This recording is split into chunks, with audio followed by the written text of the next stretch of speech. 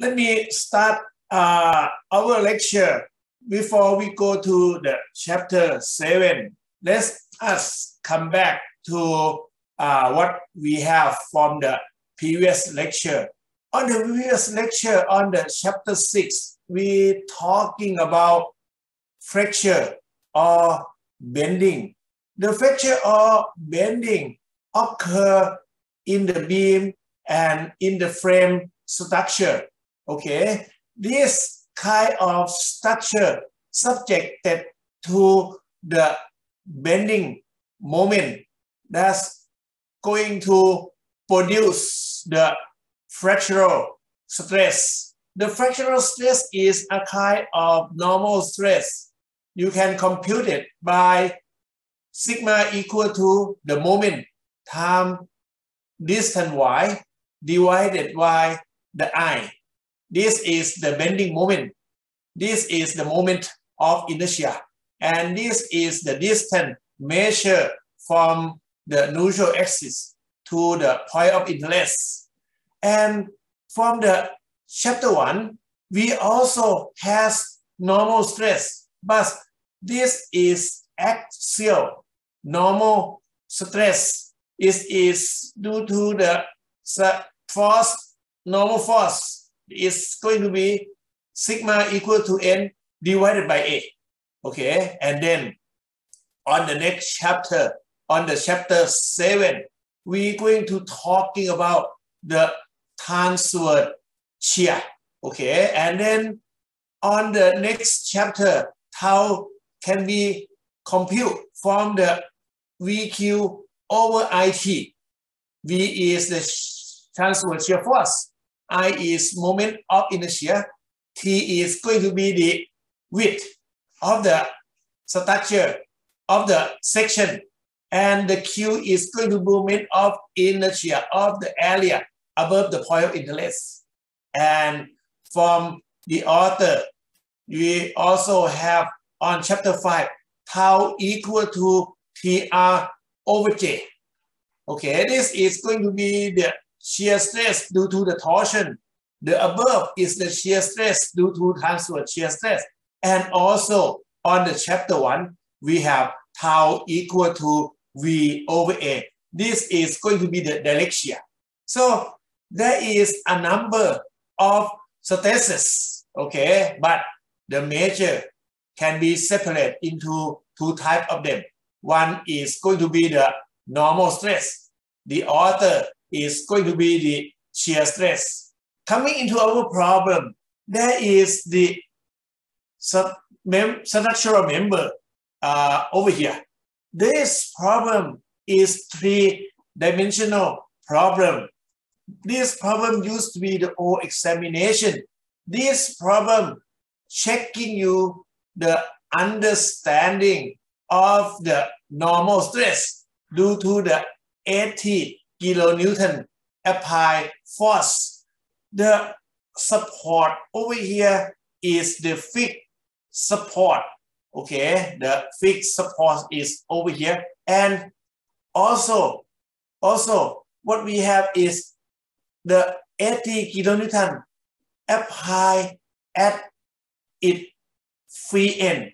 I don't know uh, any one of you have working on this problem or not, but uh, I will uh, show you guys uh, to solve this problem.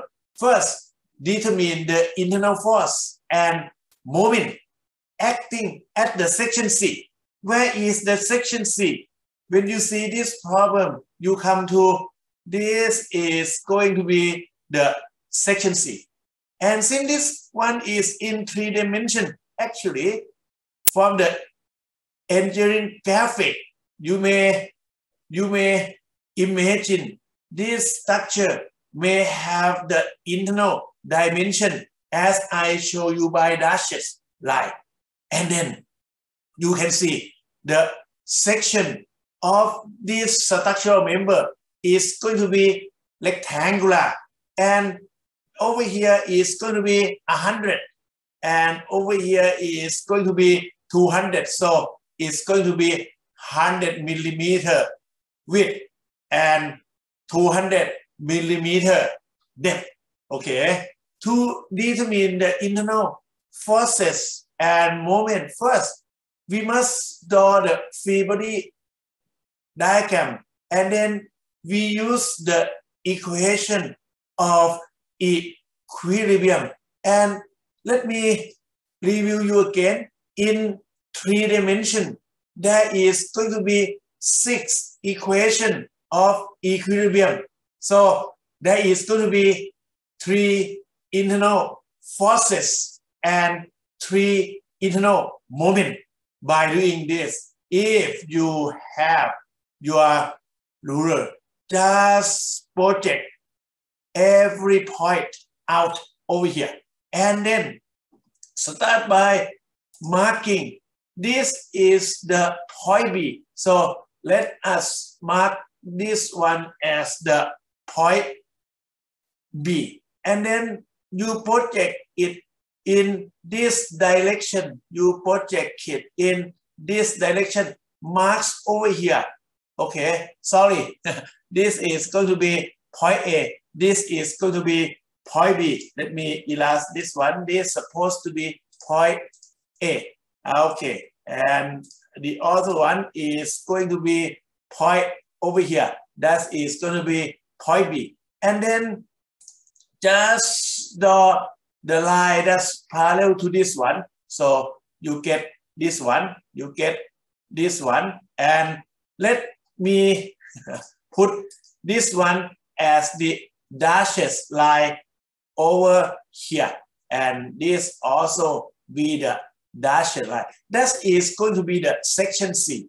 And then you got to draw the free body diagram. That means you got to project this one up. And there is the curve over here. And there is the line that's parallel to the AB. So you're going to have this one. And then you can project this one and draw the vertical of this one. And the last one is going to be here. And then on the top, there is the line over here. And just the, the copy, actually, the line over here. And then copy the line over here. And then you finish it up by doing this. That is going to be the top portion of this structural member. And let us put this one in the x direction and this one in the y direction and this one in the c direction. Okay, Ajahn, can I put, let's say, this one in the x direction, this one in the y direction, this one in the c direction? Yes, you can do it. It's up to you because they didn't set you the X, Y, C axis. Let me erase this one. We're going to use the second one over here, which one ever. But you got to know which one going to be your axis. By doing this, you may skip the centroid of the section. Based on this rectangular section, you may set this is going to be the centroid of the section. And then there is 80 kilonewton force act passing to half of the structure. So actually the axis, this axis parallel to the C axis, if you take a look, it's going to be symmetric axis, okay? And then based on this, first, you draw the structural member, the top portion. Second, you draw the reference axis X, Y, Z. Third, put the no force. And then there is going to be the force occur in the section at, at the centroid of the section. So this one is going to be F sub x in x direction. And this one going to be f sub y in the y direction. And the last one, you have the f sub z Okay, in the three dimension, you got to have equilibrium in x, y, z axis. And also you got to have what? The moment, okay, it's going to be m sub x. is going to be m sub y. And then it's going to be m sub z or m sub c. Okay, so next, by using the equation of equilibrium, you may start by summation of x sub x equal to zero, the green one over here. And then the direction of this green one is going to be in the x direction and you may have the f sub x equal to zero. There is no force in the x direction. The same thing, they'll go a little bit further. Summation of f sub y equal to zero. And then you got to have positive this one. And f sub y also be equal to zero. No is no force. This problem going to get harder. Just put another force in the x or y direction. We have only one force in the in the in the c or z direction. So summation of z equal to zero. This is the downward, and then also over here upward is positive. So let's say we put this one in the upward direction. So F sub C equal to 80 kilonewton. Okay. And then you have three more moment. You got to start by summation of the moment. And then if the measure of the moment about x equal to zero, sorry, you have the m sub x in the red color. So just put this one as the positive. And you can see this force is going to produce the moment. By doing this, we got to the, the dimension.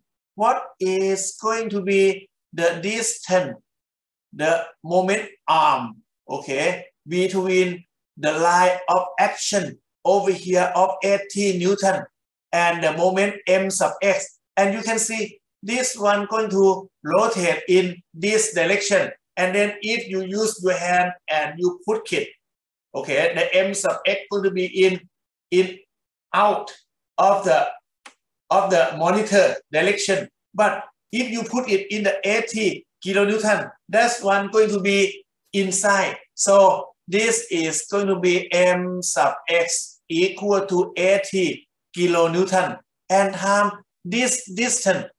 You may see this is going to be to be how many? This is going to be this is 300 this is 200 this is going to be 100 okay? And then this is 200 half of it. Okay? Due to the symmetry. This is going to be another 100 so if you combine the distance 100 here with this one. So it's going to be 0 0.2 meter. So this is going to be 8 times 2. It's going to be 16 kilonewton meter. Okay. And then it's in this direction. Uh, next one, if you do the summation of m sub x equal m sub y, sorry, m sub y equal to zero, it's going to be in this direction and then there is no moment due to the m sub y because the line of action cut to point sorry cut to y axis. There is no moment arm. So m sub y is zero. And the last one that we have is summation of m sub c or m sub z equal to zero point upward is positive. And then also the moment of m sub z equal to zero. So we finish our first step. You get the internal force and moment. And then they ask us about the magnitude and direction. F sub C gonna be upward, okay? And M sub X gonna be in this direction. And now they ask us the second phase of the proper number B. Determine and draw the state of stress at point A. A is over here. And at point B on this section. Usually when we take a look at this one, we most of the time we will project project uh, the internal forces and moment into the bottom portion. If you put it into the bottom portion, you may get uh, the applied forces and moment act to this portion.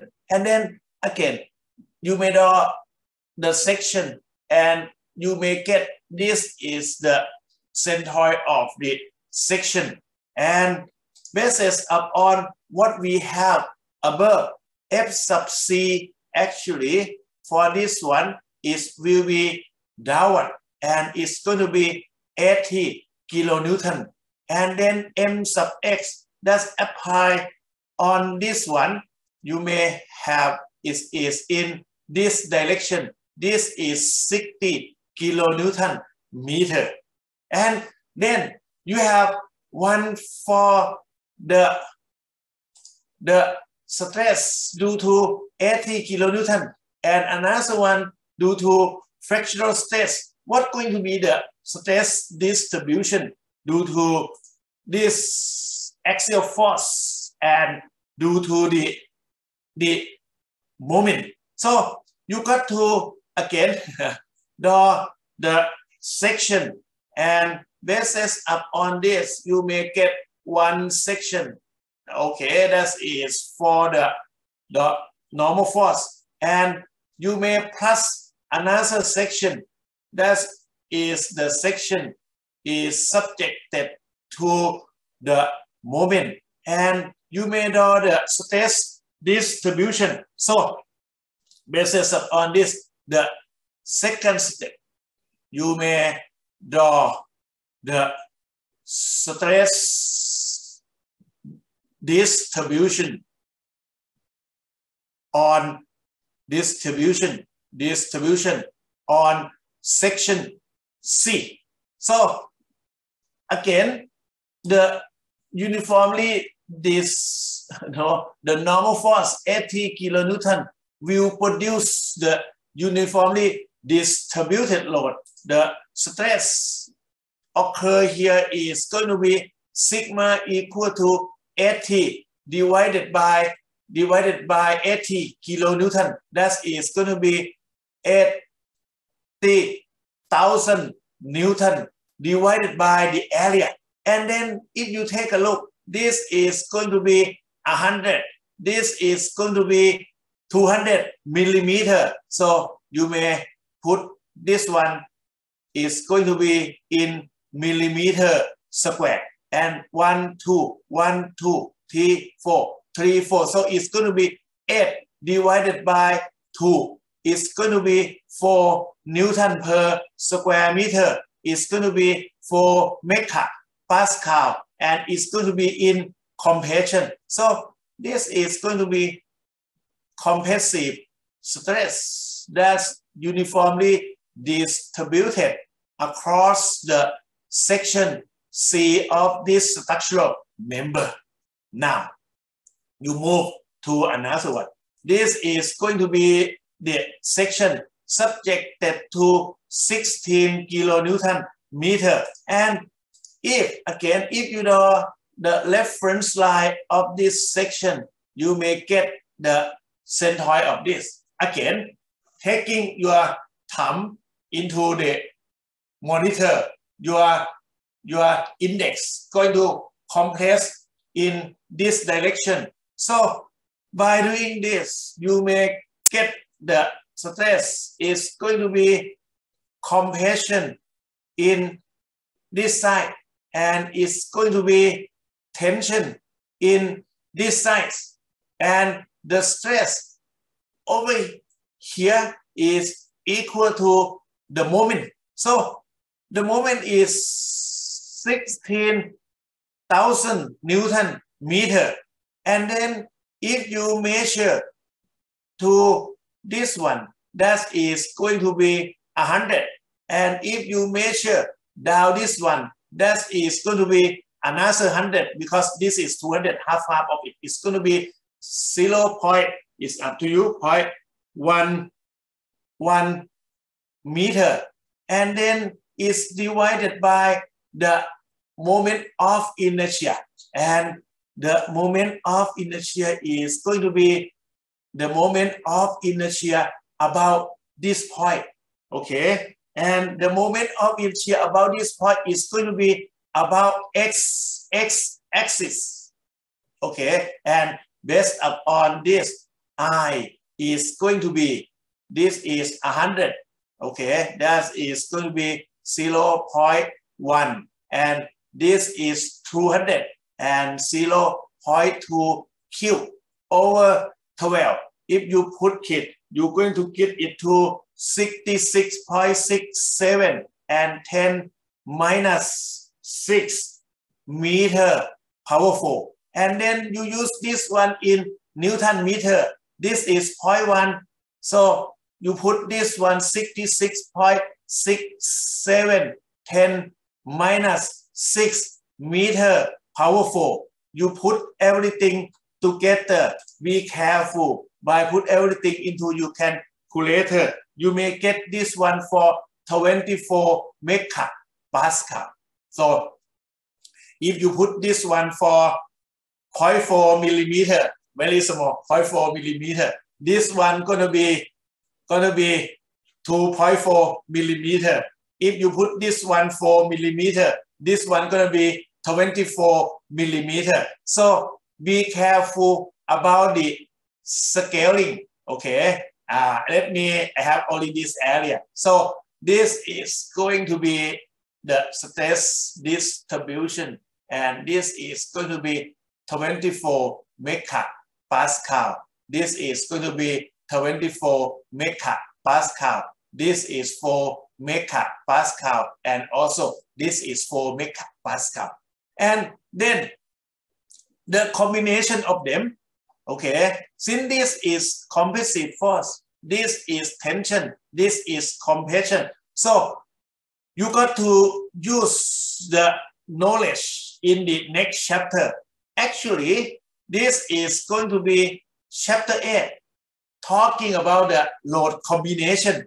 You can plus, okay, the stress due to the normal force with the normal stress due to the bending, okay, you got to use what's so-called the principle, principle of superposition.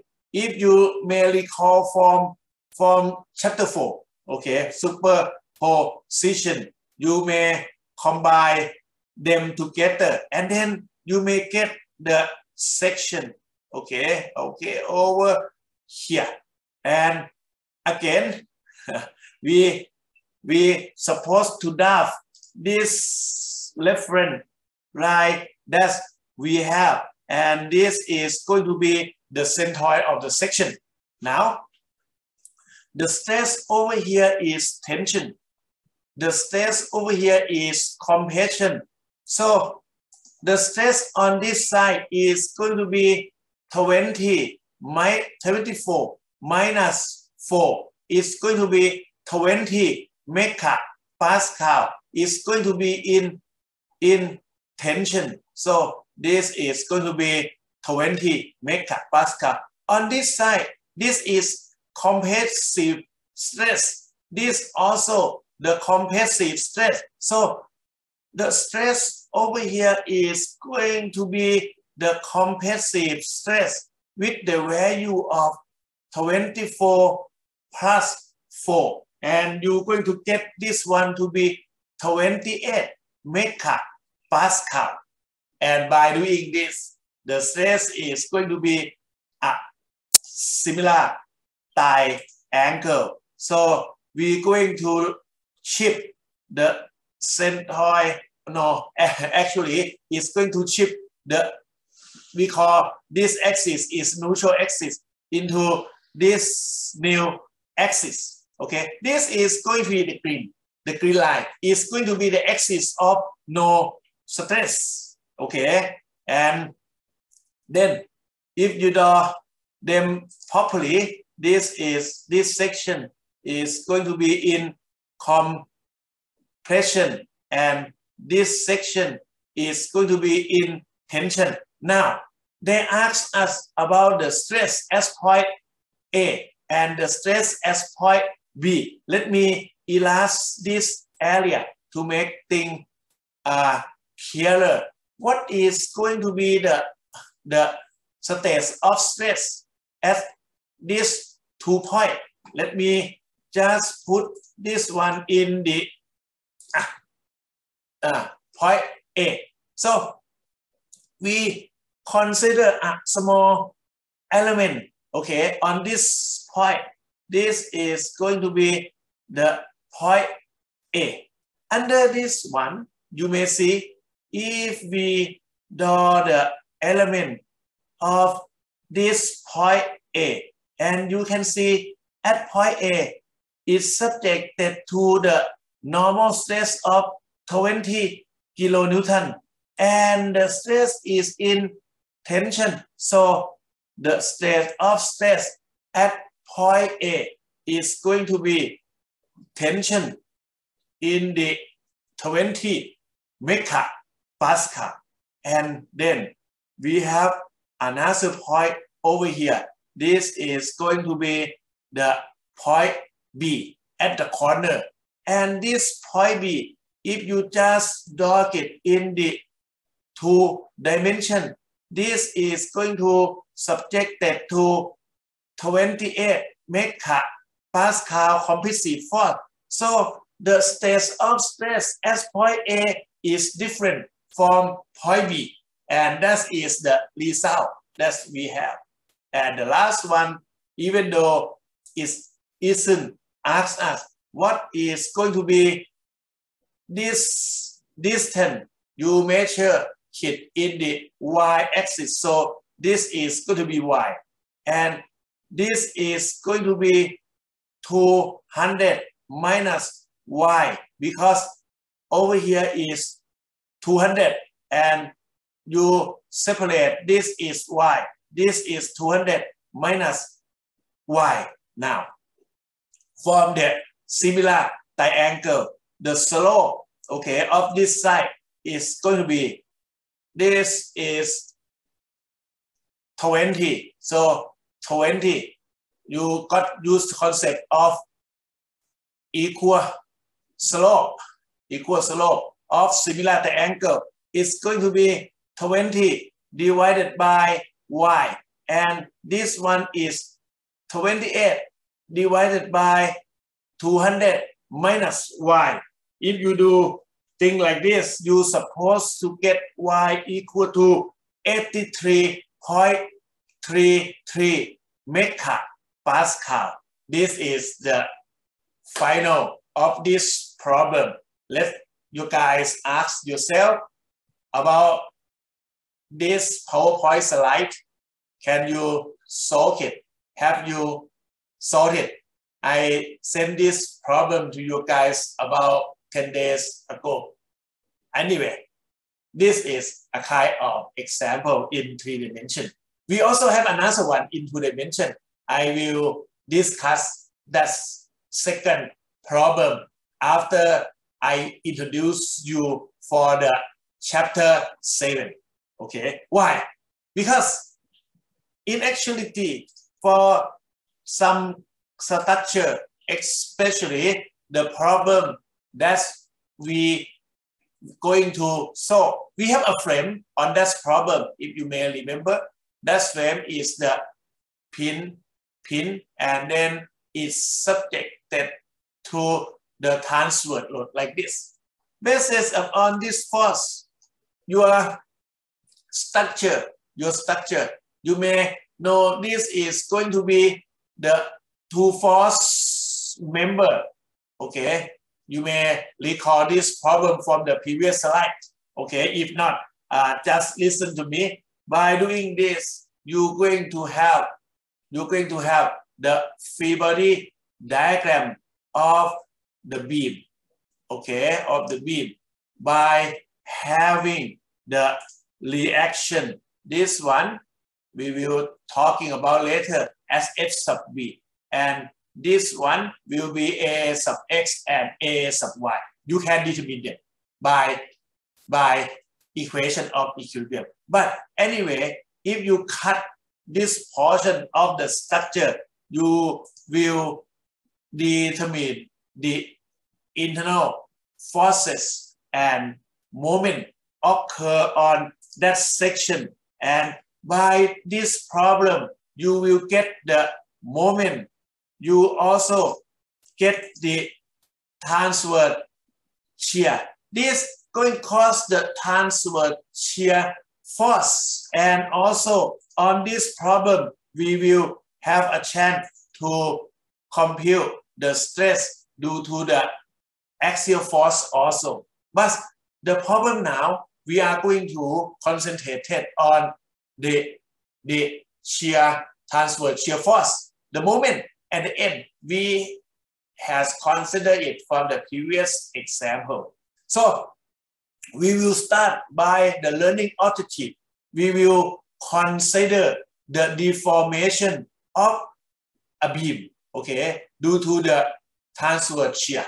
And then by doing this, we will have the transverse shear we will produce the transverse, transverse shear stress by the equation V time Q divided by moment of inertia and time the width of the point that we are interested.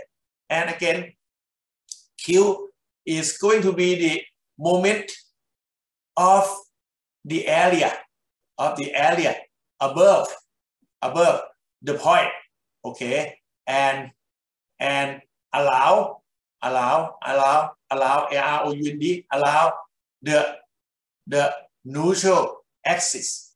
And then we will use this equation to analyze the stress distribution.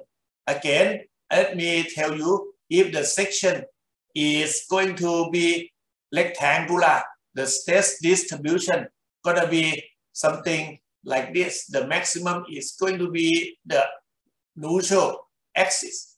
If the stress is going to be in the I section, you may get the stress distribution in the form like this. If you have the T section, the we can prove the stress distribution over here will be in the shape like this. I recommend you to to to what to remember the stress distribution for these important sections okay in engineering sometimes you got to remember something and then later we go through it to explain why it's going to be in this shape if you go through all of the PowerPoint that we have.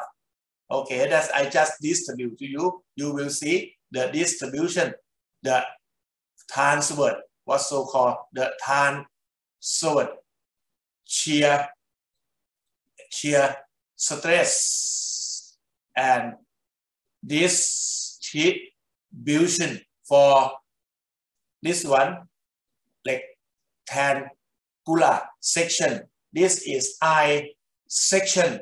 This is T section.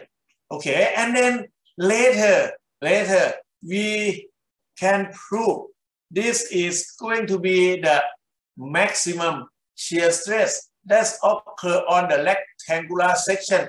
And this equation can be reduced by 1.5 V over A. Okay, and then we may use, we may let's say may use this equation to design the beam. Talking about the design of the beam, we will talking about kid in the later chapter. Design of the beam is going to be on the problem number three of your final examination. And also we will discuss the composite beam. This is a composite beam. This is the composite section. We have the flank.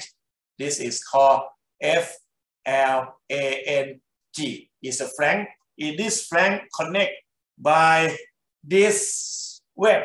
Okay, and we call this one as the composite section. And this one also the web of the T section. Okay, this is the web of the composite section. And then we also has this one as the flank. Okay, in uh, the steel design, most of the section that we have in the steel table is in the I section, T section, C section. Okay, those section is a good section, very effective section. And if you talking about the wood, okay, most of the time the wood section has the rectangular section, may say uh, wood or some kind in engineering, we call it timber, okay. The wood or timber, not only the rectangular, the woods maybe the I and the T also, but most of the steel section that we produce, okay, for the steel section is going to have this kind of composite section. Now, I'm going to show you the evidence about the effect of shear transfer shear stress. If we test this beam, actually, I supposed to show you guys, we test this beam by putting the force, okay, as the L over 3, L over 3, and L over 3. By the force is actually is applied to this transfer girder. Let's say this is 2P, this is going to be P, and this is going to be P. And then by testing this, let's forces concrete beam. The force over here going to be P, okay? And then, and then we draw the shear diagram. This is going to be upward by positive P. And there is no distributive force, so the slope is zero, and this P is closed. And then over here, there is no distributive force, so this is going to be zero, and this is O minus P, and this is going to be, so what we have is, there is no shear stress, okay, at the middle portion of this beam. And then if you draw the moment diagram of this beam, you will get the shape of the moment diagram of this beam like this, based on the engineering static that you have it before. So what's going on over here? On this portion of the beam, there is no shear stress. There is only the bending moment. So the crack is shown over here. It's going to be the crack due to the tensile stress, okay, produces by the, the bending moment on this area only is occur in the midspan. This is the one that we use our knowledge from the static and mechanics of material to develop the precast reinforced concrete beam. And then we, we can check based on the design that we design this, this precast RC beam.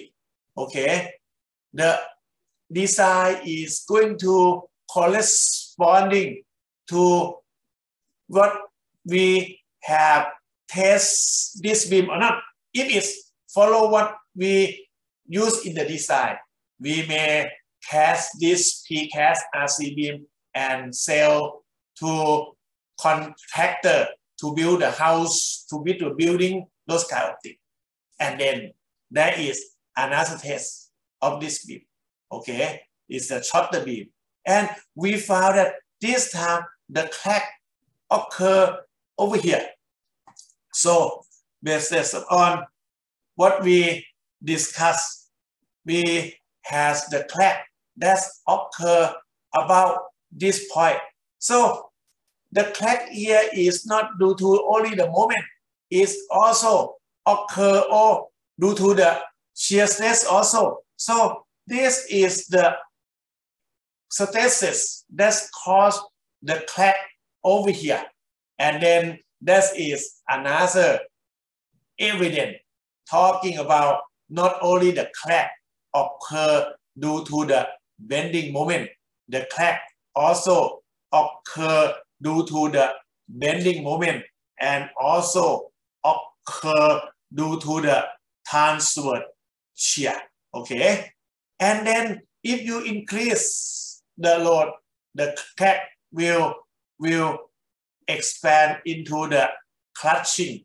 Okay, over here, and this one is the peeling of the bottom of the concrete. So later, failure, usually we didn't consider it much. We will start by checking the first failure. The first failure is going to be the failure of the structure.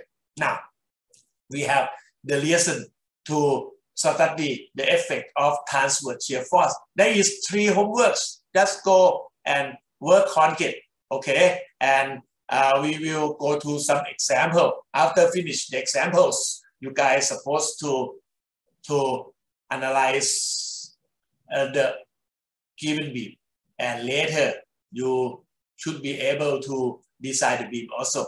So the shear in the beam, okay? So the ending static, from the ending static, we have the knowledge to draw the shear diagram and draw the moment diagram.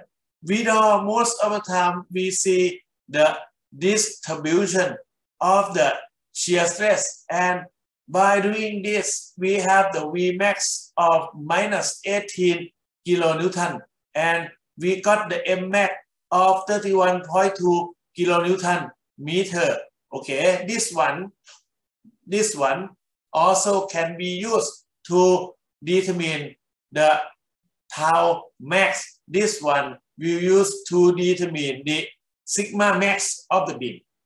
Okay, this sigma max will be equal to m max times y max divided by i.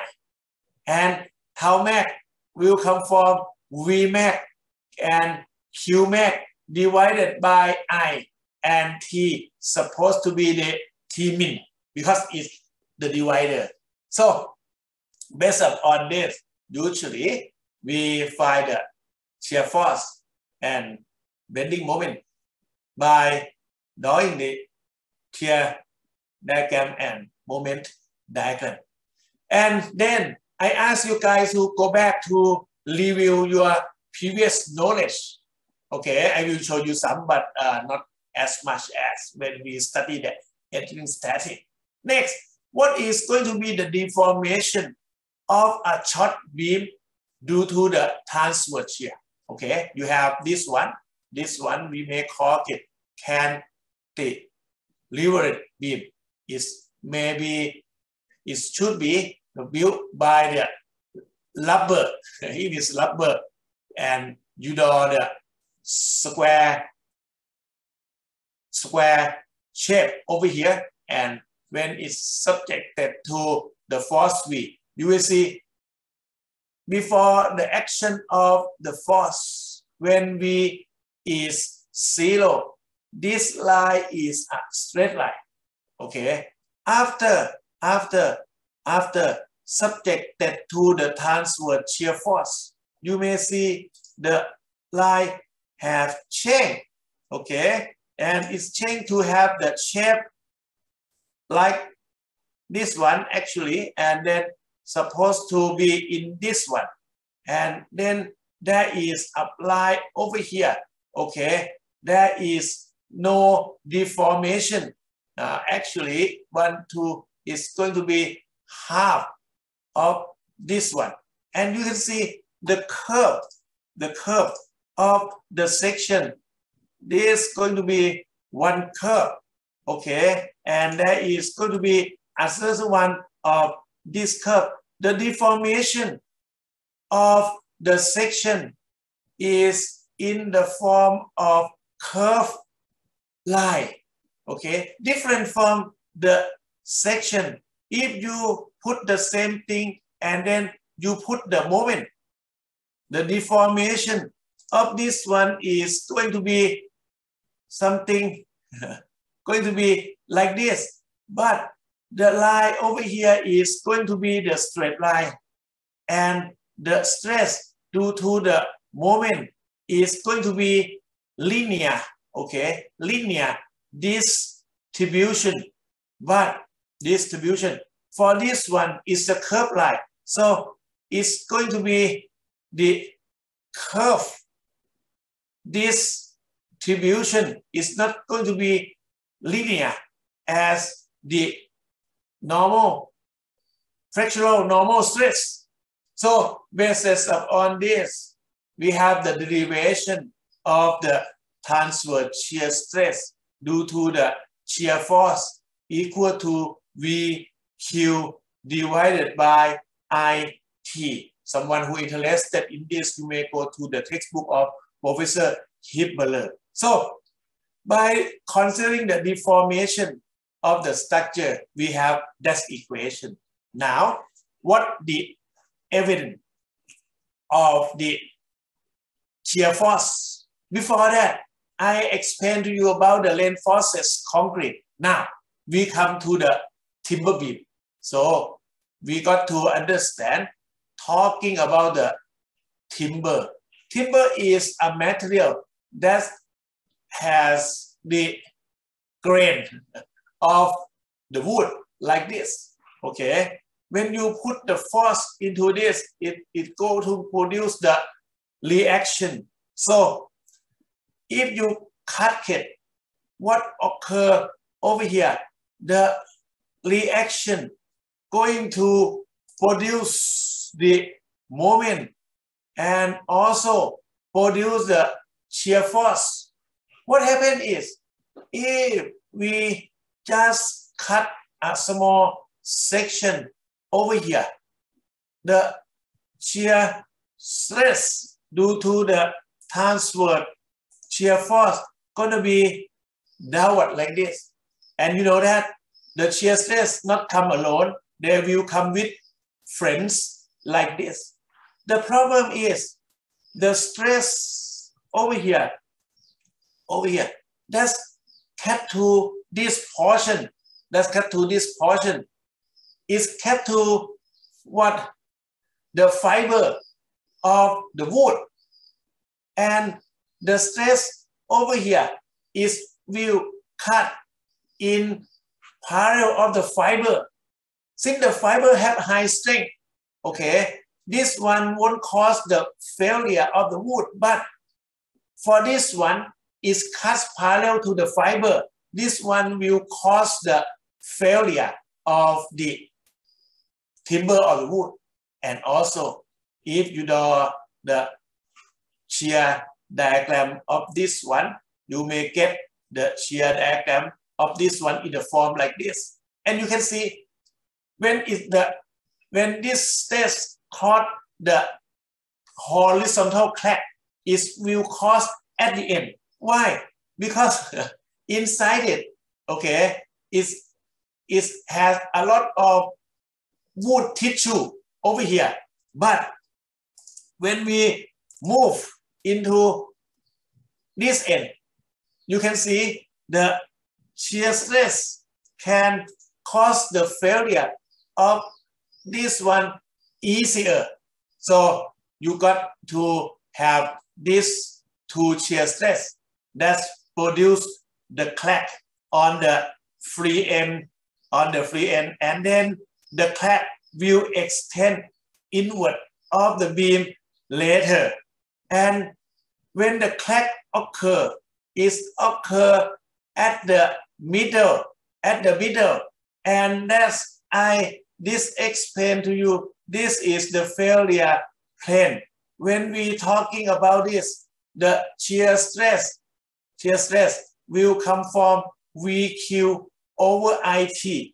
And then what we have is by doing this, V is going to be V max at this end. Okay, Q is going to be Q max. Q is the moment of this area. Okay, that is going to be maximum. This area time this distance. So this is going to produce the Q max. Okay, and then the distribution of the stress is going to be the curve and maximum at the at the neutral axis of the section and zero at the top, zero at the bottom. And this is going to be the stress distribution for the rectangular beam cross section. Ah, this is one of another example. The horizontal cap at the end of timber beam shown here is occur due to the maximum transverse shear stress that occur at this section. Section. This is going to be the plane that's cut to the neutral axis. We call the this plane as the neutral plane.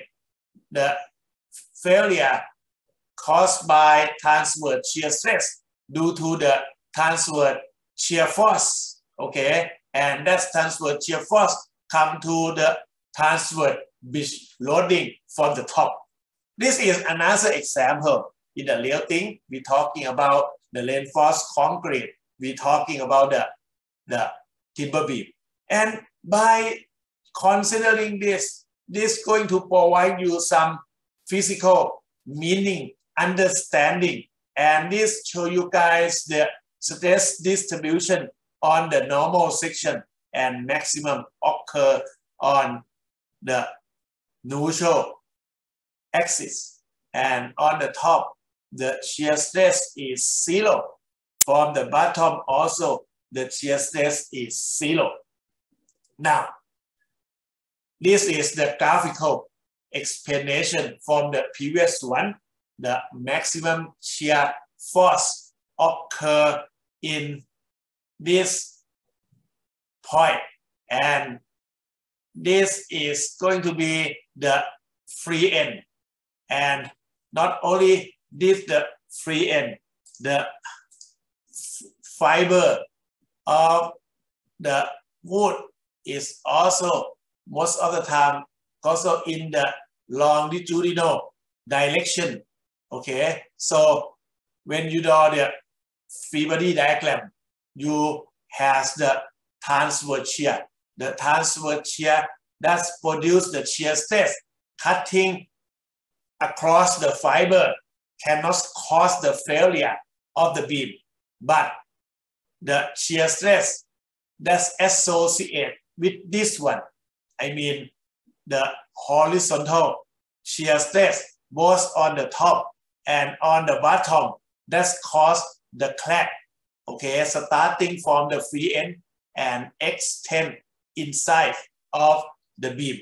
Okay, and another example, if you bring your ruler like this, and then if you want to stick it, stick them together, and you bend it, they will work separately. By working separately like this, the beam can resist low apply loading. And engineering we have the wood called go, go laminated timber or you may call it glulam. Okay, go laminated timber. This is a commercial timber. The problem is nowadays we have the tree that is small compared to the past. In the past, the forest have a lot of big tree. Okay, you so you can cut a big section of the beam like this. But since the wood, most of the big wood reduced significantly in the past uh, century. So there is the commercial. They just can the timber and they cut it when it is like 10 years. They cannot plant it for 30 or 50 years. That is too long for the commercial timber. And then they just glue them together by high strength glue. So polymer engineering, you may develop the high strength glue to put the small timber and work together as the large timber section. By doing this, you got to determine the transverse shear stress occur over here in order to select a proper high strength glue to glue the section together to produce the composite section. This is a kind of composite section. Okay, uh, I cannot remember. It's supposed to call ulam like this. By putting the glue into the small timber like this, okay, the section will work together and this kind of section will receive large applied forces or loading. Okay, this is another explanation about the usefulness of this knowledge. You may go to uh, Philippines, you want uh, work as an engineer, you may plan your own commercial forest. You study this subject. You have your girlfriends as graduate from polymer engineering. Okay, you may work together. You produce the laminated timber to sell across the world. That's also possible, if you prefer to. And then again, come to this one. We have uh, the stress, okay? And this another way to, to connect the board together. If you want to use the glue, you may use the nail, okay? Or may, you may use the bolts to connect them together. So the horizontal shear force that occur, occur, occur in this direction will, will resist by the nail or the bolt. In the same way, if you use this in the, in the glue from the previous one, the shear, okay, you take this one out, the shear over here will take by the glue, but the shear over here may take by the nail or the bolt.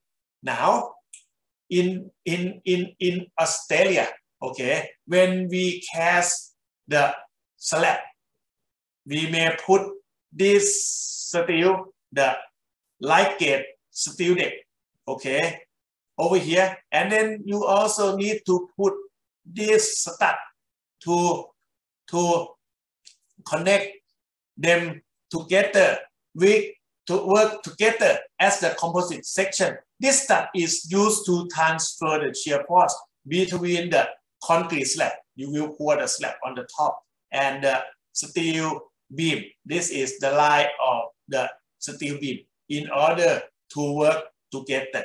Now, that is the shear formula. The derivation of this shear formula is in the textbook, but you got to understand first, the beam supposed to have constant section. That means this beam have equal section along its length, okay? And at least, at least the beam supposed to have one axis of symmetry. Why? Because in the application of the external force. That external force will go in the line of symmetry. So it won't produce the torsion to the section. Second, the beam must be isotropic, homogeneous material.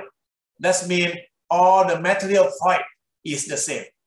The property, the property of the material in every direction is the same. Okay, that's called isotropic material. If the property in this direction, the property in this direction, they are the same.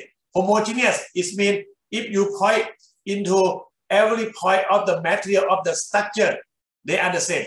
That is going to be homogeneous. Again, reinforced concrete is not homogeneous. Yes, it's one homogeneous microscopically.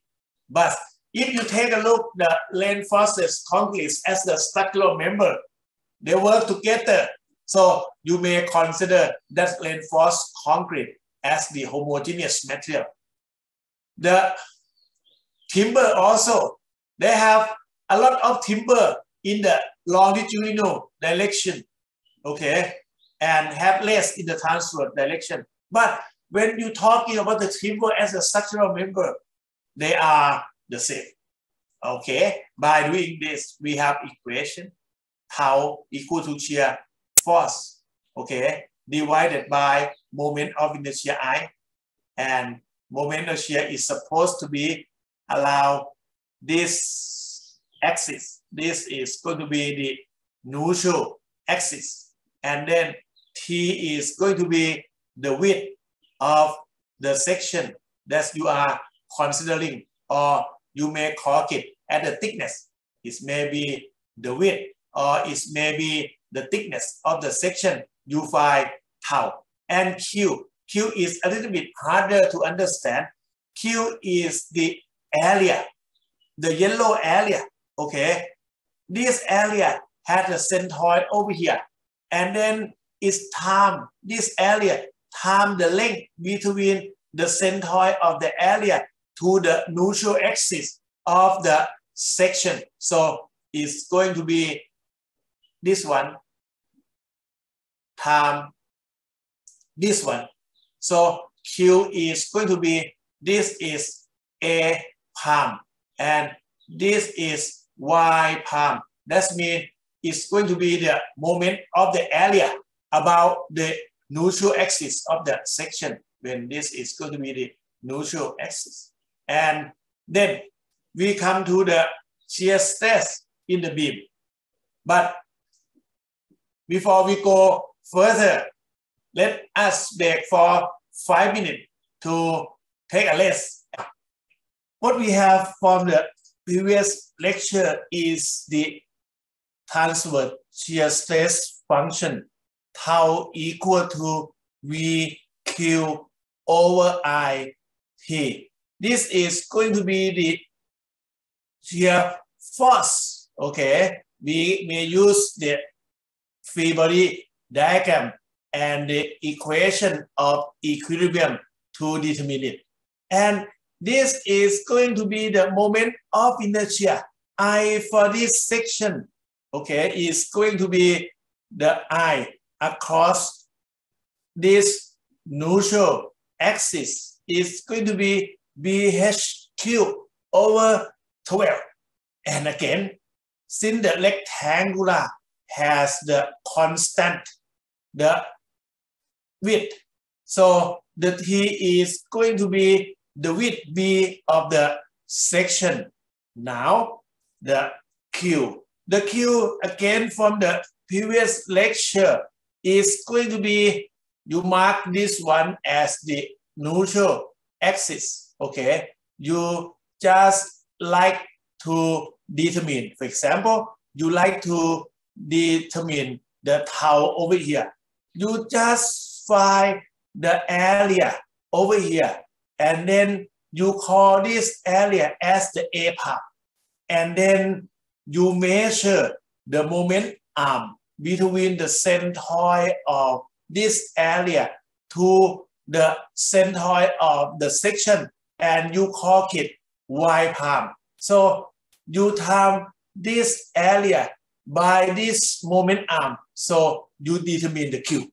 Based upon the section that we have, okay, we put this one as the neutral axis. And then the area, the area which we are consider is going to be above this dashes line. And again, we call this is Y palm or Y bar palm. And we call this area as the A palm. And then you measure, you measure, you measure the distance from this one to this point. Okay, that is going to be the moment arm. Again, it is Y bar palm. Then what we have is going to be the Q equal to Y palm, Y bar palm, A palm. And then what is going to be this area? If you consider this is going to be B, okay? And what is this distance? Since this one is H over 2 and this one is Y. So you just minus the Y H over 2 out of the Y. So this term is going to be the A palm. And then we're looking for this distance Y bar palm. You got to find first. This is going to measure from here to here. And this is going to be this distance Y. Then you have this one before, okay? This is H divided by 2 minus Y, okay? And this is half of it. So this is going to be half of H over 2 minus Y. So you got to do a lot of mathematical manipulation.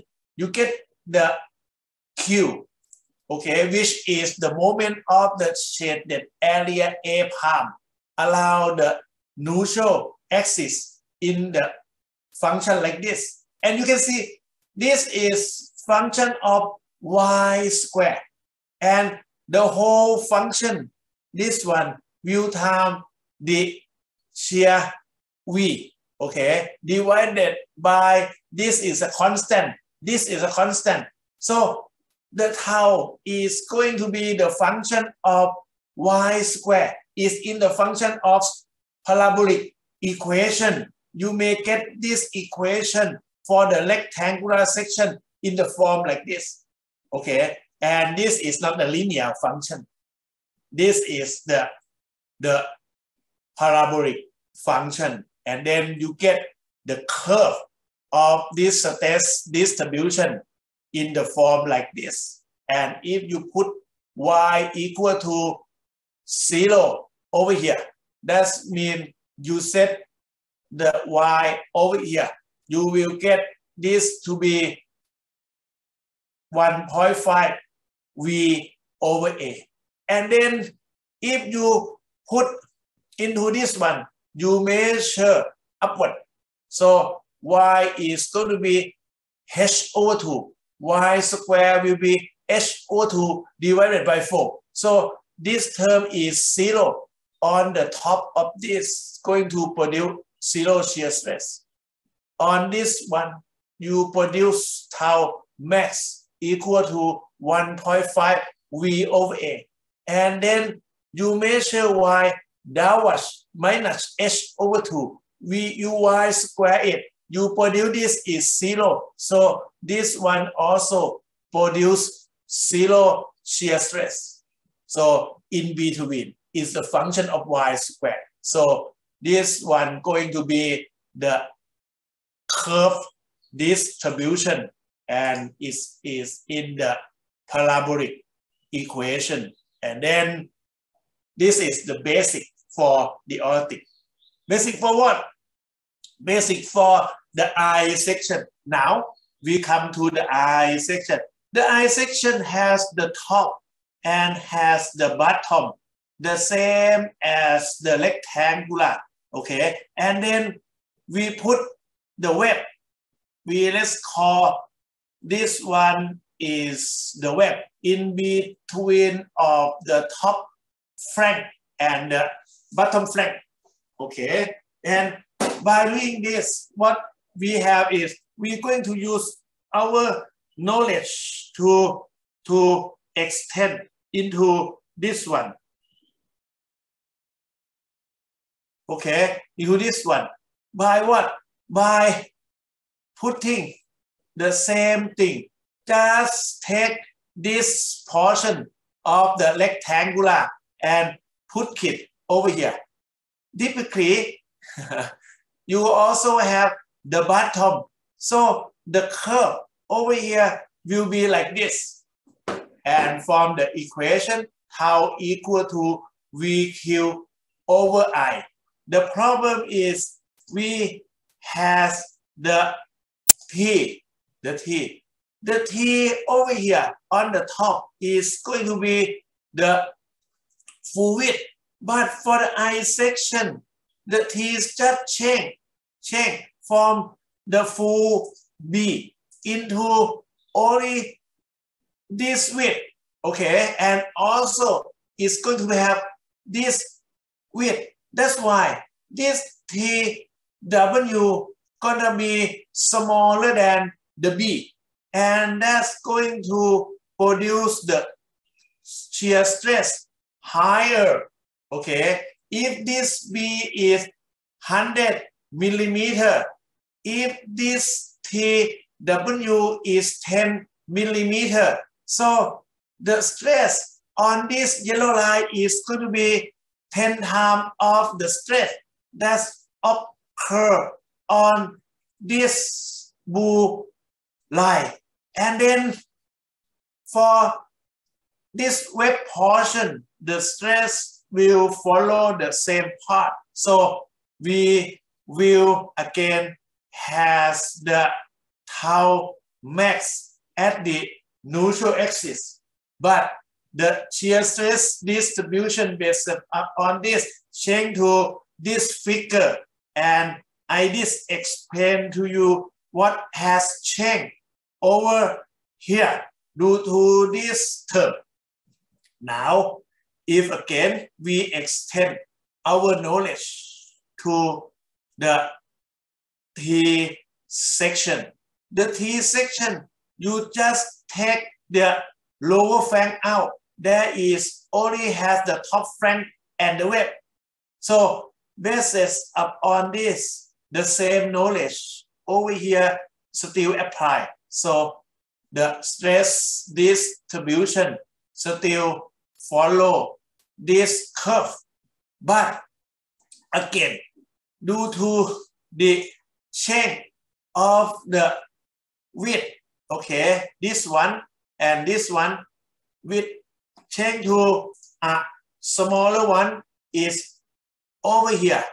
And also the centroid of this section is going to move a little bit to the top flank. So the stress distribution that occur on this joint will follow the same path as the I section and then it's going to reach the maximum again at the neutral axis or the axis that's passing to the centroid.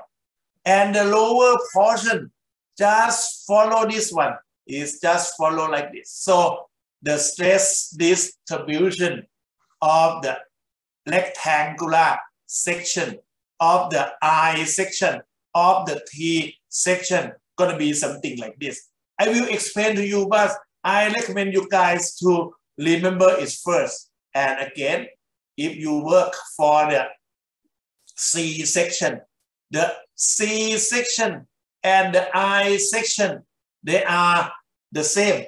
Okay, so don't worry. This section will have stress distribution the same way as this one. Okay, it has the top flank okay? And it also has the web, but the C have two web, the T, the T, the Tom is going to have only one web. So remember the stress distribution and later we will compute this is zero. What the value of this? What the value of this? What the value of this? Okay, and due to the symmetry, this one and this one is the same. This one and this one the same, and this is zero. For this one, this is zero. We will compute the stress here, the shear stress here, the shear stress here, and this is zero. No. For now, for this one, we will go to this one again. This transverse shear stress, okay, will come with this longitudinal shear stress. And this red longitudinal shear stress cause the failure of the end of the timber. Okay, and again, we come to our problem. Let us work on another old problem. Why? Because it is the rectangular section. For the I, the T, the C, okay, we will work later. This problem will continue from the previous one. From the previous one, we consider only the normal stress in the three-dimensional frame member. But this one, we will have the transverse shear force produce the transverse shear stress. So consider the frame. The BC is pin, pin, and there is no force over here. So this is going to be the two force member that I mentioned to you guys previously. And by doing this, you may have to start by finding the reaction. So first step again, draw the free body diagram and use the equation of equilibrium to determine the reaction at the support. And basis upon this, let's set this one is the y, this is the x, and this is the pin. Okay, so under the application of this force, we have what? We have this is going to be the A and this is the B. You know the reference axis, put the apply forces in the triangular shape is going to be 4 kilonewton per meter. And then this going to produce the, the A sub y. And this is going to produce due to the two force member F sub B. And since this one going to project in the B to the A. So we have this one to be the A sub A. When you draw it, use the ruler. Don't draw like me. I don't have the ruler. And then you just put the distance between the point. This is going to be 3 meter. This is going to be 3 meter. And by using the equation of the equilibrium, you got to point the ankle over here. So this is going to be 3. This is 5. So you have this 3. This is 5. Then you can determine this one to be 4. And then the component of the F sub B, which is the dash line, is 1 billion. It's just the component. So this is going to be F sub B time vertical is 3. So it's going to be 3 over 5. And also project in this direction is going to be F sub B. This is horizontal. So 4 over 5. Now you are ready to use the equation of equilibrium to determine the reaction at support A and, and the force F sub B. The best way to use the equation of equilibrium is the summation of the moment at the point of the maximum unknown or A. you will reduce a sub x and a sub y out of the equation. Okay, so you can determine the f sub b directly. And by doing this, you can see this component going to rotate counter clockwise. So you have f sub b times 0.6 and this is going to be 6 meter okay? And this force the 4 kilonewton is the symmetry force.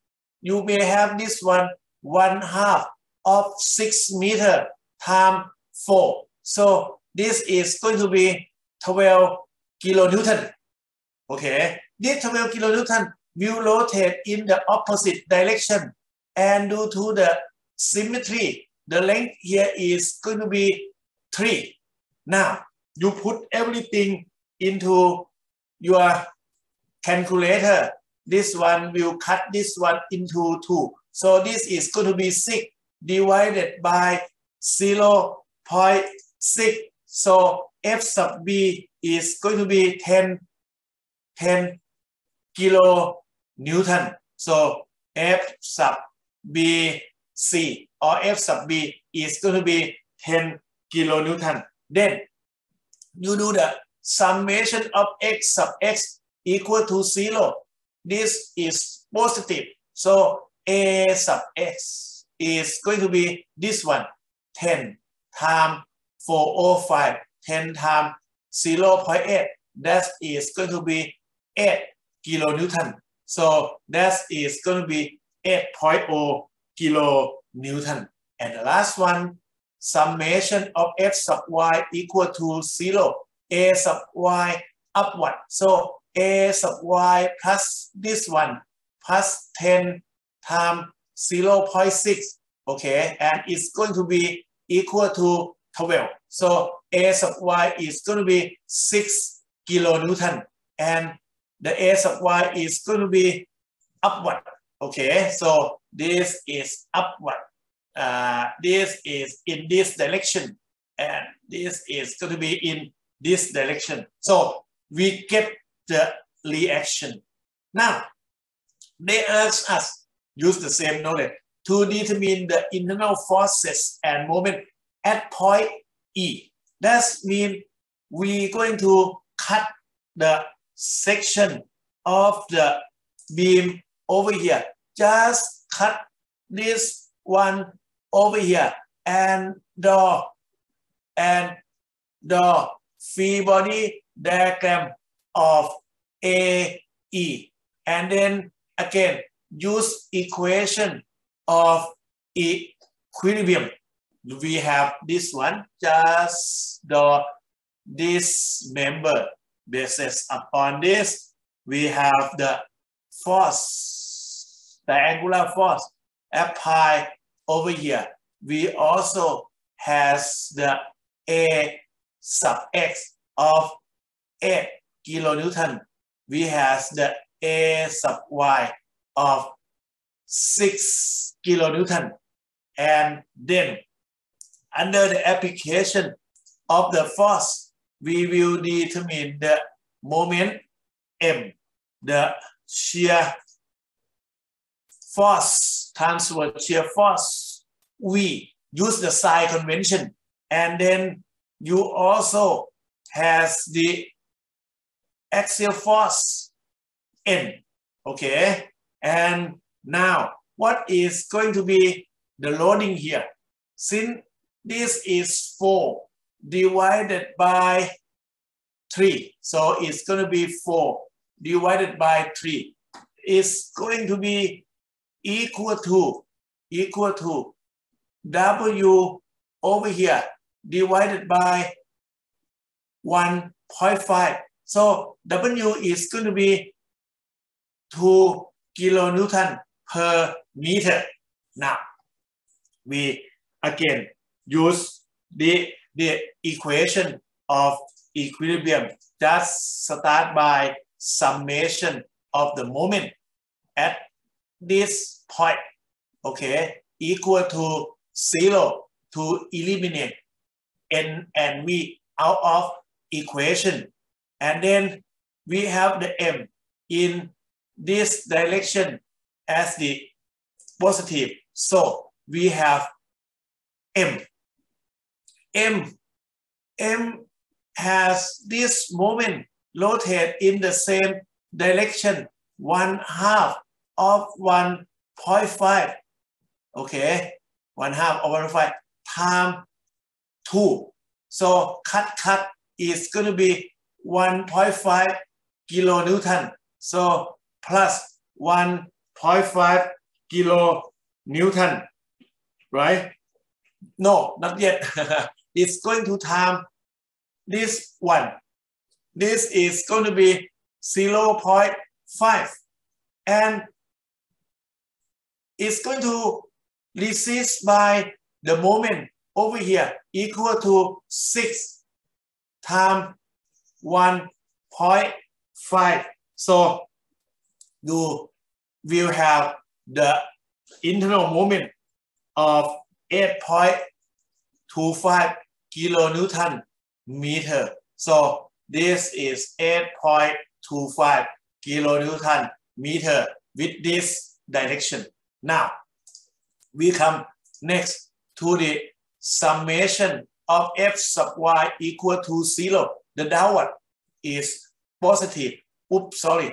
And then what we have is v is the downward and 1.5 also plus 1.5 and then this is upward equal to 6 so actually we're supposed to put it into v sub e. This is going to be v sub e m sub e n sub e. It's going to be 4.5 kilo newton and this is 4.5 and it's downward. Then we have the last one, summation of f sub x equal to zero. So the n is in this direction. So you get the n equal to 8 kilonewton. That is very simple. n equal to 8 kilonewton. And then you have this one, put this into 8.0 kilonewton. Then they ask us to draw the distribution of the bending transverse shear stress, okay, occur over here. So based on this, we will use our knowledge to do so. Okay, so coming to this, draw the transverse shear distribution. Transverse shear distribution is here. Section is rectangular. So we will use this side, okay? The same thing over here. We will use this side as the reference. And the shear is, oops, sorry. Shear is downward. So actually the shear stress this occur over here will has the value So start from zero down to zero distribute like this.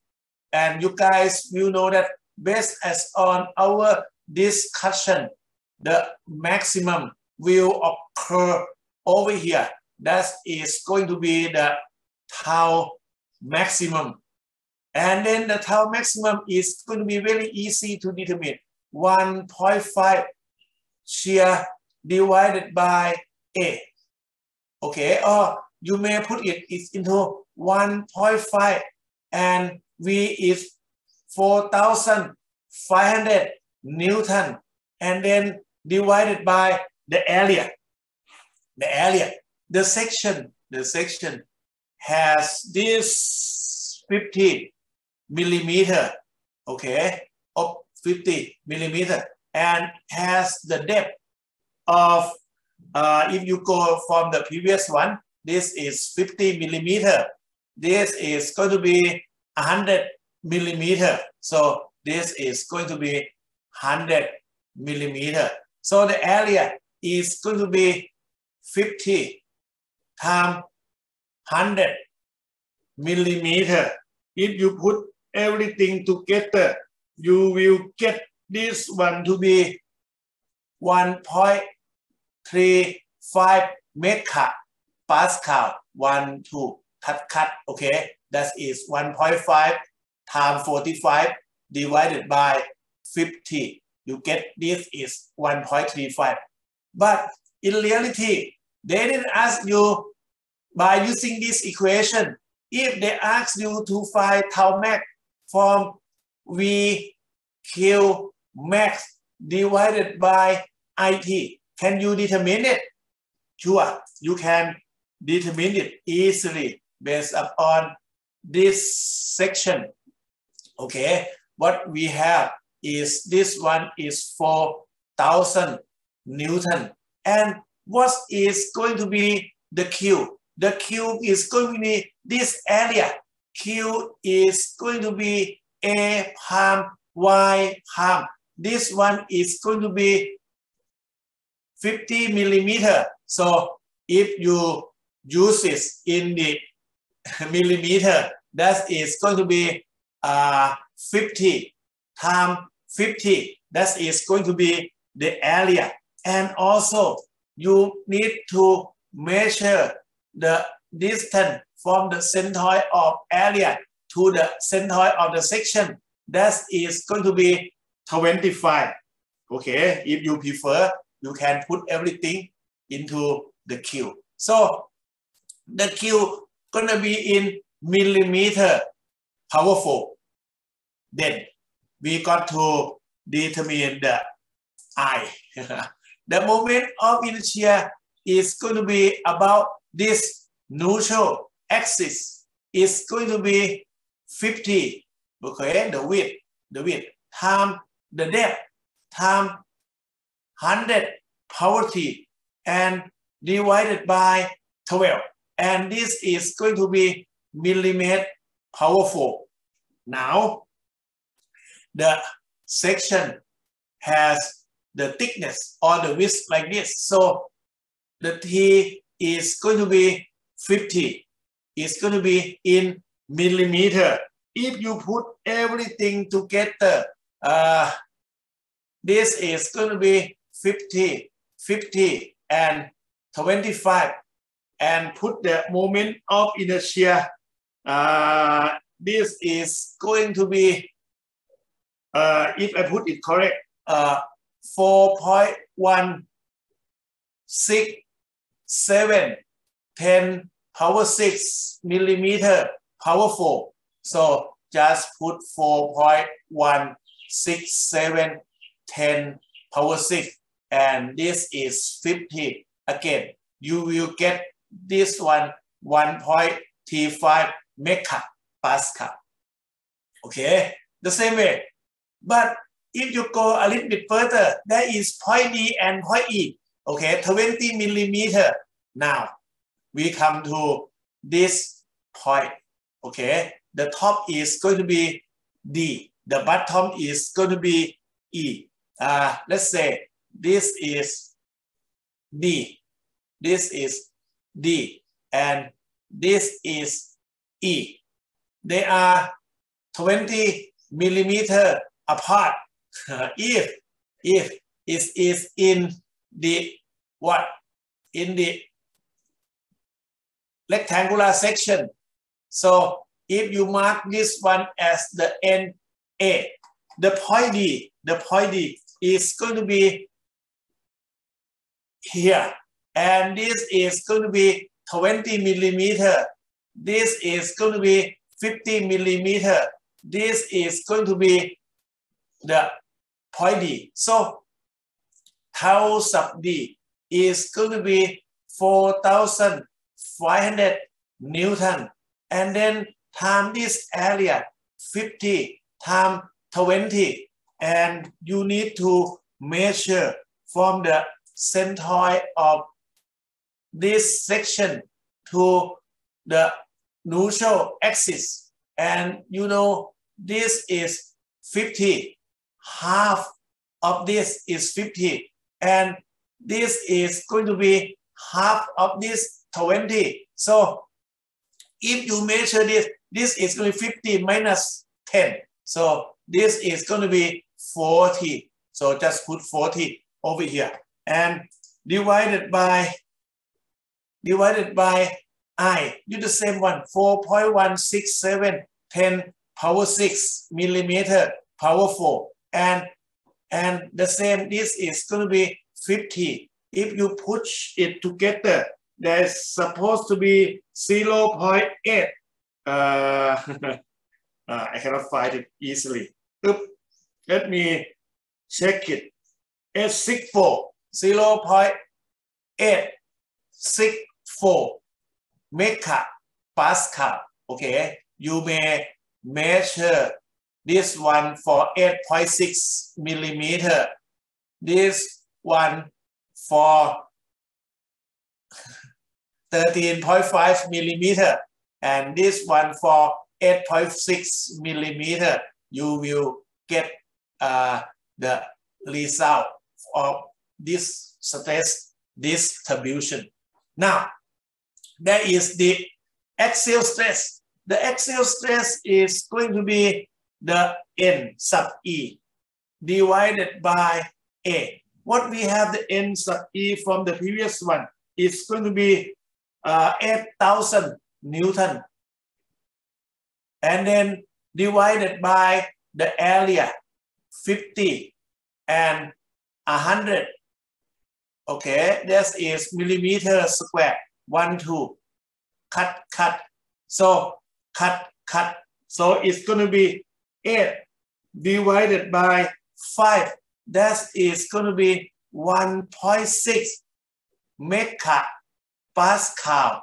That is going to be in the compression. So just draw this. This is in compression 1.6 mega Pascal. And then we have the bending stress. Just put this one sigma equal to m sub e time y over i. And then by doing this, the moment is positive. So this one in compression, this one gonna be zero, and this one must be in tension. And due to the due to the rectangular section is symmetry, the tensile and compressive, uh, the compressive on the above, tensile on the bottom. Let me erase this a little bit. This is wrong. Okay, this is going to be in tension.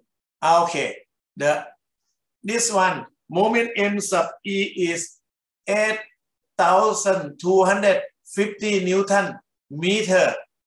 And this is Newton meter. And the Y, if you measure up, that means you measure here, it's going to be 50 millimeter, 0 0.05 meter.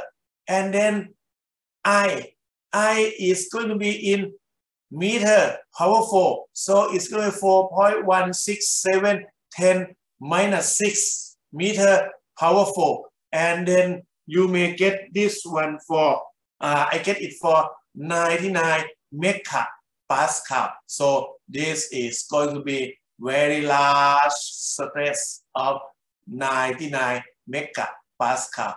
And this also equal, it's going to be this one. Okay. And then what we have is, what we have, if you prefer to find it's going to be in, in, in the same shape.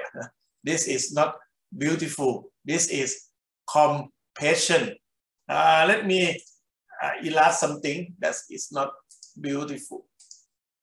Okay, and this is going to be in the tension. Okay, this is going to be in tension, and the picture must be in symmetry. Use your ruler to draw it properly. Okay, and then this one is intention 99 mega Pascal.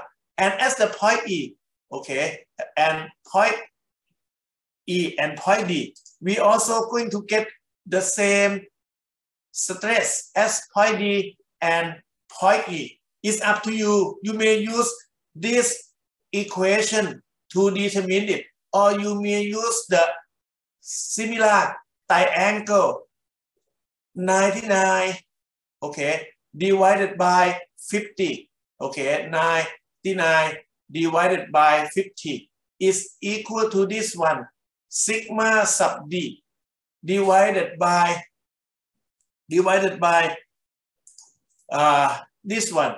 This is going to be 30. So you may get sigma sub d equal to 99 times 3 over 5. And it's going to be 99 times 3 divided by 5. 59.4. 59.4 mega Pascal. So this is going to be compression and this is going to be 59.4 megapascal is going to be in in tension and then you do the stress combination of them you may get this is 99 compression this is 1.6 so this is going to be 99 plus 1.6 is going to be 1, 1 or 1.6 mega Pascal and is in compression. And this one is going to get smaller. This is 99 minus 1.6 is going to be 97.4 mega Pascal.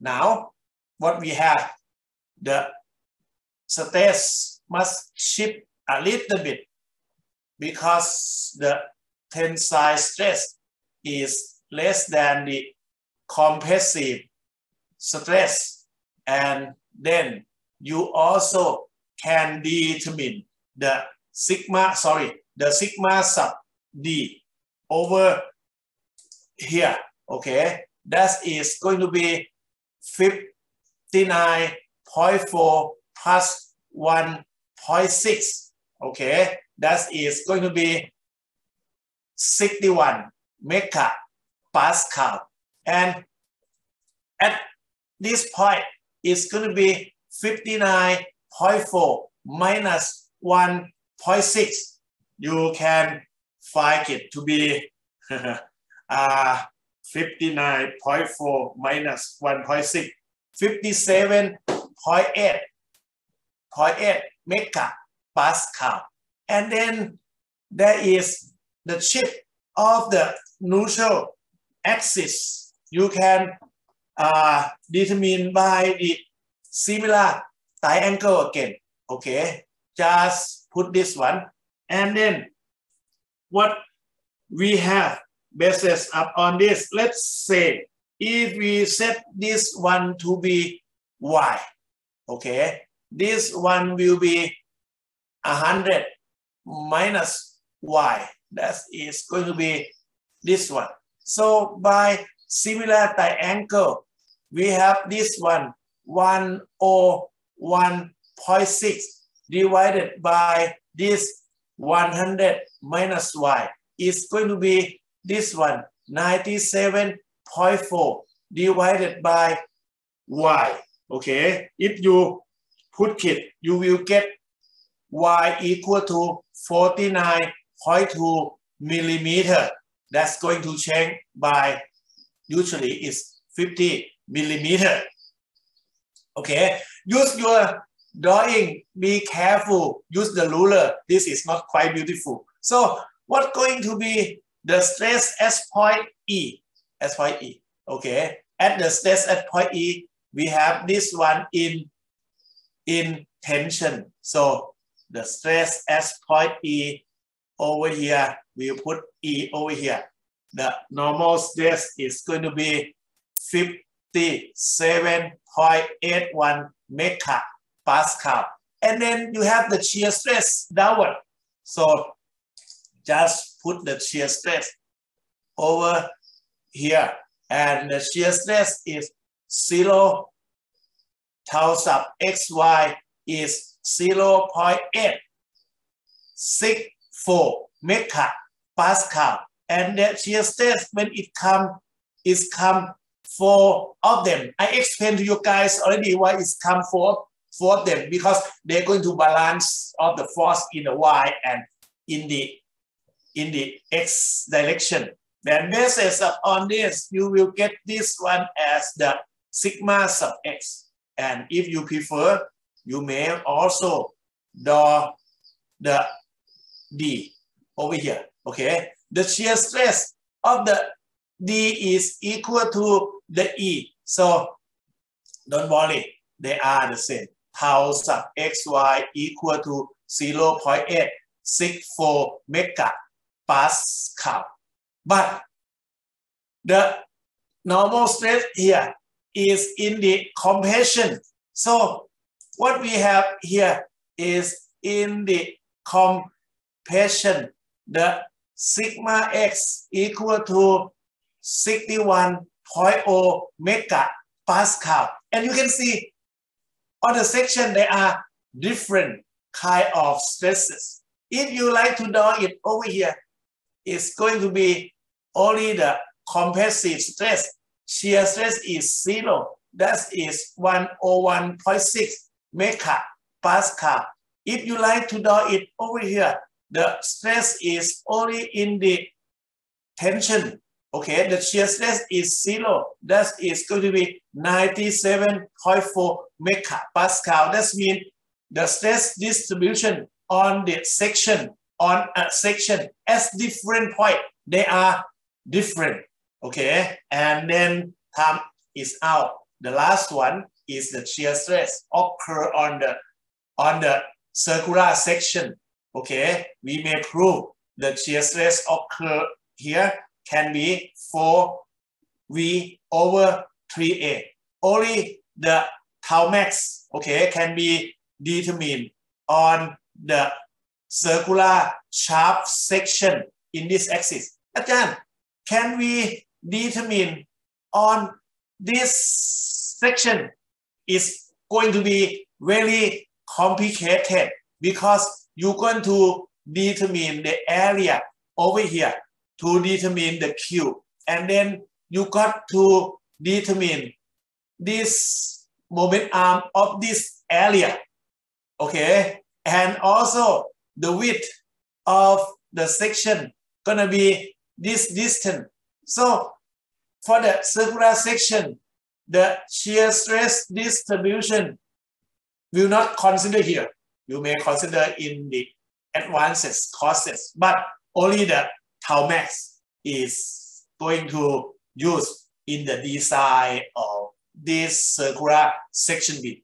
Okay, and uh, this is example of the shaft that we consider. And the section, the I section, you if you have the stress distribution like this, if you go a little bit further, the tau max will occur at the neutral axis and it can approximate by the shear divided by the A of the web over here. We will use this equation, okay, to decide the section. But in the analysis of the section, you got to determine this is going to be zero. What is going to be tau max from Q human over IT? And what is going to be tau palm? What is going to be tau palm palm? That is going to be the problem number one.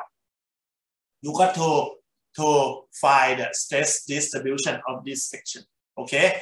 And then there is some other example we will discuss about the I and T section later. And then we will go to the composite section and we will end the chapter seven for the next lecture. And next week, we will go further to, to the chapter 8 and uh, chapter 9. Okay, uh, at least at this point, I think uh, we will cover the problem number one for the final examination already. The problem is going to be three dimension. Most of the three dimension we're going to have the rectangular section. Or the problem number one may be in the two dimension as we have discussed. Okay. So I should end my lecture over here. Thank you uh, very much.